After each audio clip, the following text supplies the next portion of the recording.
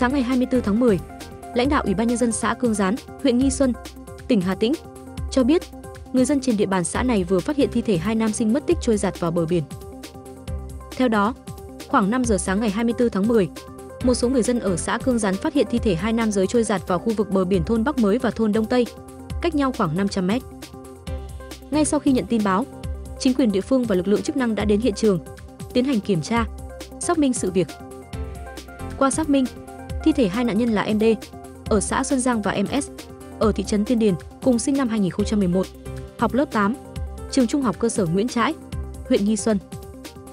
Sáng cùng ngày, gia đình của hai nạn nhân đã đến làm các thủ tục để tiếp nhận và đưa về tổ chức lễ mai táng theo phong tục của địa phương.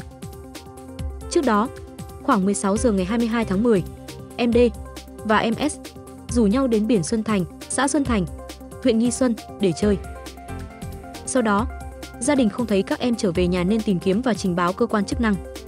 Quá trình tìm kiếm, mọi người phát hiện quần áo, dép và xe đạp của các em để lại trên khu vực bờ biển.